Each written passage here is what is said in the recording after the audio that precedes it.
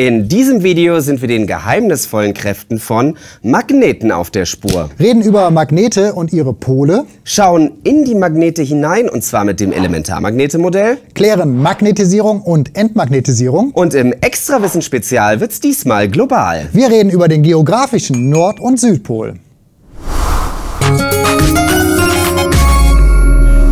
Ein Magnet ist schon ein krasses Teil. Der hat quasi magische Fähigkeiten.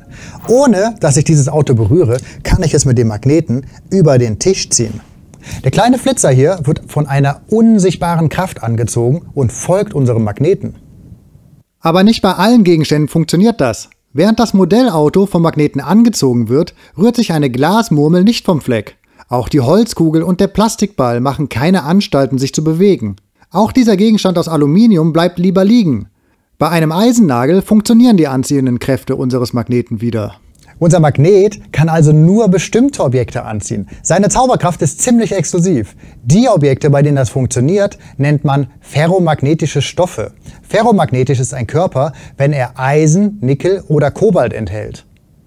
Übrigens, nicht alle Metalle sind ferromagnetisch. Aluminium ist auch ein Metall, aber auf das hier wirkt der magnetische Zauber überhaupt nicht. Deshalb bewegt sich unsere Alukugel auch nicht vom Fleck, egal wie sehr ich versuche, sie mit dem Magneten dazu zu bewegen. Komm her! Ach, Menno! Gut, ferromagnetische Stoffe und Magneten ziehen sich an. Aber die Kraft dieser Anziehung ist nicht an allen Stellen des Magneten gleich groß. Hau ich den Magneten in diese Schale voller Büroklammern, dann haften die nur an den Enden. In der Mitte des Magneten haftet nichts. Die Schwerkraft auf die Büroklammern ist hier größer als die magnetische Anziehungskraft. Es gibt also Stellen, an denen die magnetische Anziehungskraft besonders groß ist und Stellen, an denen diese Kraft ziemlich klein ist. Die Stellen an den Magneten, an denen die Anziehungskraft richtig stark ist, nennt man Pole. Unser Stabmagnet hat zwei dieser Stellen, und zwar an den kurzen Enden. Er hat also zwei Pole. Wollen wir mal schauen, ob die Pole gleich sind oder ob es da Unterschiede gibt. Hier haben wir mal den einen Pol grün markiert und den anderen rot. Und damit wir die Pole besser untersuchen können, kommt noch ein zweiter Magnet zum Einsatz. Den färben wir aber noch nicht ein, wir geben den Polen aber verschiedene Nummern, also 1 und 2. Seite 1 unseres Magneten stößt die rote Seite von unserem rollenden Magneten weg. Drehen wir den Wagen um, dann zieht die Seite 1 die grüne Seite an. Der Wagen rollt jetzt auf den anderen Magneten zu. Bei dem Ende Nummer 2 ist es genau umgekehrt. Das zieht die rote Seite an und stößt die grüne ab. Ha, abgefahren. Die Pole am Magneten sind also nicht gleich, sondern unterschiedlich. Unser Magnet hat also zwei verschiedene Pole. Man könnte sagen, einen roten Pol und einen grünen Pol. Und wenn man noch mehr herumprobiert, stellt man Folgendes fest. Gleiche Pole stoßen sich ab und ungleiche Pole ziehen sich an. Ich glaube, jetzt können wir den zweiten Magneten auch einfärben. Seite Nummer 1 ist dementsprechend rot, denn die stößt die rote Seite von unserem anderen Magneten ab und zieht die grüne an. Das Ende Nummer 2 wird entsprechend grün, denn das stößt ja die grüne ab und zieht die rote an. Jetzt haben die Pole nicht nur Farben, sondern auch Namen. Den grünen Pol nennen wir magnetischen Südpol und den roten Pol nennen wir magnetischen Nordpol. Süd und Grün mit Ü und Nord und Rot mit O. Ein Magnet mit zwei Polen, magnetischem Nord- und magnetischem Südpol. Aber können wir diese Pole auch trennen, indem wir den Magneten einfach in der Mitte durchbrechen? Teilen wir den Magneten in der Mitte, bekommen wir nicht, wie man es vielleicht erwarten würde, einen Südpol und einen Nordpol. Stattdessen bekommen wir zwei neue kleine Magneten mit je einem Süd- und Nordpol.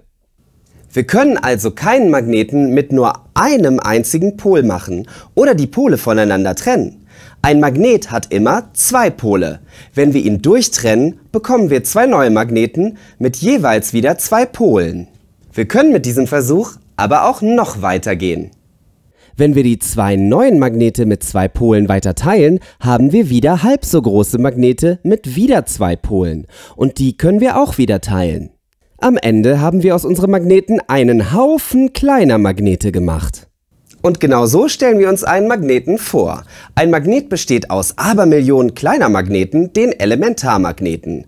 Ein Elementarmagnet ist dabei der kleinstmögliche Magnet.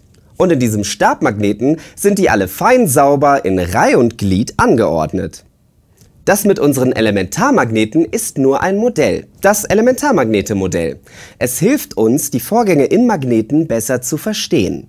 In Wirklichkeit besteht der Magnet aus Atomen und nicht aus Elementarmagneten.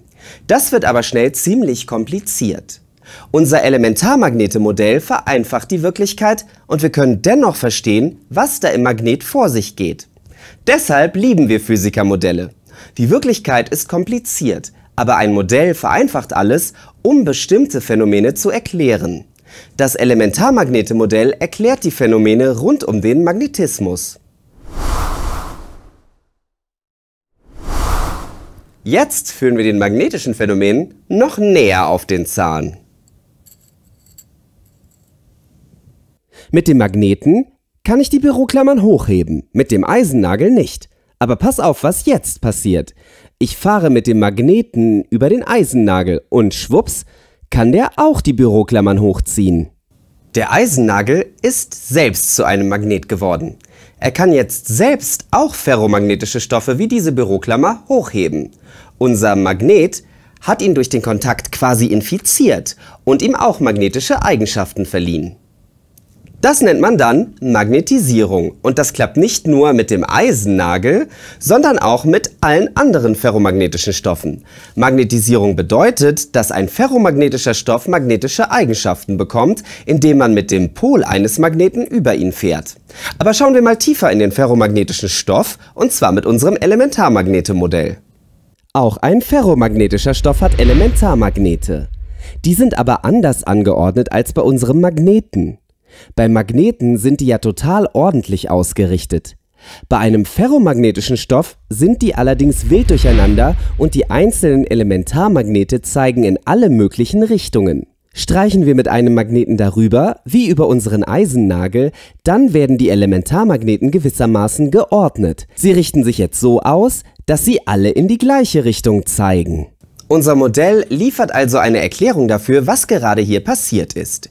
In unserem Modell bedeutet Magnetisierung, dass sich alle Elementarmagnete in einem ferromagnetischen Stoff gleich ausrichten, weil sie mit einem Magneten in Kontakt gekommen sind.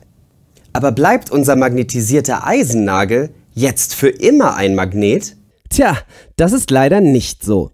Wenn wir dem Nagel Feuer unterm Hintern machen, draufhauen oder einfach lang genug warten, dann verliert er seine magnetischen Eigenschaften auch wieder. Dann kann er keine Büroklammern mehr hochziehen. Die magnetische Wirkung von einem magnetisierten Gegenstand ist nicht für die Ewigkeit gemacht. Erhitzen, Erschütterung oder auch einfaches Warten zerstört sie. Das nennen wir dann Entmagnetisierung. Auch hier kann unser Elementarmagnetemodell eine tolle Erklärung liefern. Wenn wir den Nagel heiß machen, ihm einen kräftigen Schlag verpassen oder einfach lang genug warten, dann werden die vorher noch geordneten Elementarmagnete wieder zurück ins Chaos gestürzt. Die Unordnung ist zurück und die Elementarmagnete sind alle unterschiedlich ausgerichtet. Somit gibt es auch keine Pole mehr. Tja, so schnell kann's gehen. Ein fester Schlag und schon ist das der Sargnagel für die magnetische Zauberkraft unseres Nagels. Übrigens, bei einem normalen Magneten bleibt die magnetische Eigenschaft über einen langen Zeitraum bestehen. Er verliert im Gegensatz zu einem ferromagnetischen Stoff seine magnetische Zauberkraft nicht. Da diese Wirkung dann permanent ist, also nicht so leicht gebrochen werden kann, heißen diese Magneten auch Permanentmagneten.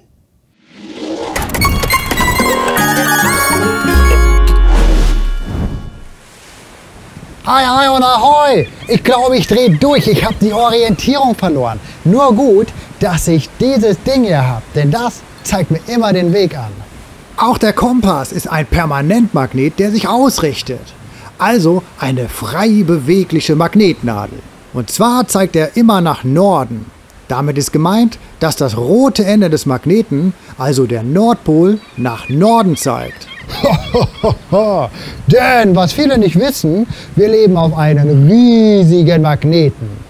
Jau, der Planet der sieben Weltmeere, unsere Erde, ist ein gigantischer Magnet und umgeben von einem gigantischen Magnetfeld.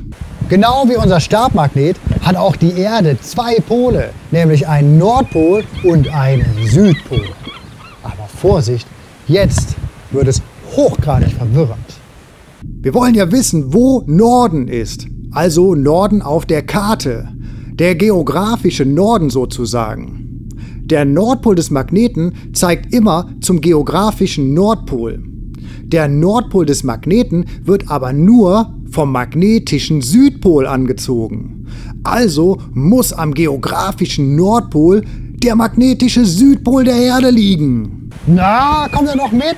Alles voll umgekehrt. Und genauso verwirrend ist es am Südpol. Da, wo der geografische Südpol ist, ist der magnetische Nordpol. Puh! Und du stichst jetzt in See oder was? Das Einzige, was bei dir sticht, ist wohl die Sonne. Naja, oben, unten, Nord, Süd, da kann man schon mal durcheinander kommen. Kann man durcheinander kommen. Ich glaube, du brauchst euch mal einen Schlag, damit sich bei dir deine Elemente ausrichten. Ich geb dir gleich. Eine Retourkutte? Nee, ein Spickzettel. Spickzettel, Spickzettel, Spickzettel.